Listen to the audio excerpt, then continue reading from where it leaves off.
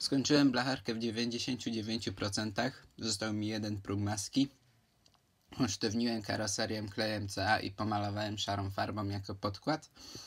Okropnie zbrzydła mi szpachla i robota szlifiernicza.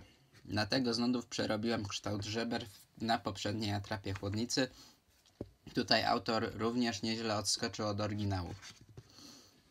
Przygotowując garbatą do malowania, stanąłem przed zagwozdką. Trzeba było zamaskować wnętrze auta, a tradycyjna metoda odpadła. Okna nie mają ramek, na których można by przykleić taśmę, zatem wypełniłem całe auto papierem toaletowym, poszło półtorej rolki, a następnie okna wsadziłem yy, plastikowe torebki. 30 marzec 2017 roku. Warszawa będzie malowana w kolor czarny, choć na początku miała być granatowa. Zakupiłem spraya i po malowaniu. Klops, wyszedł kolor fioletowy. I masę niedoróbek blacharki przy okazji. Szybka decyzja, malowanie podkładem drugi raz i po szpachle marsz.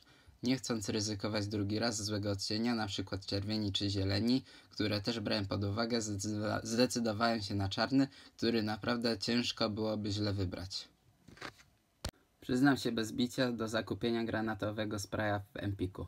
Jak znajdę puszkę tego cholerstwa, to wrzucę. Może ktoś kiedyś zobaczy to ostrzeżenie. Tak czy siak nie ma tego złego, co by na dobre nie wyszło. Po spapraniu pierwszego malowania bardzo solidnie przerobiłem wyrób Warszawo podobny na bardzo zbliżony substytut tego auta. Korzystając z wczorajszej temperatury, czyli ponad 20 stopni, wyniosłem Warszawę na dwór i pomalowałem. Wygląda chyba nieźle. Nie jest gładka jak lustro, ale większych purchli też raczej nie ma. Dziś zdejmę te wszystkie folie i wyciągam z auta półtorej rolki papieru, a potem biorę się za obklejanie go detalami. Jak dobrze pójdzie, to może na przyszły weekend będzie gotowa. 1 kwiecień 2017 widzę niedoróbki auta, szczególnie lewej strony dachu oraz prawego botnika. Jednak nad szpachlowaniem wszystkiego i szlifowaniem trzeba będzie się mocno zastanowić, bo raz skończyło się to tragicznie, czyli zniszczeniem całej starej powłoki konieczno i koniecznością robienia nowych elementów.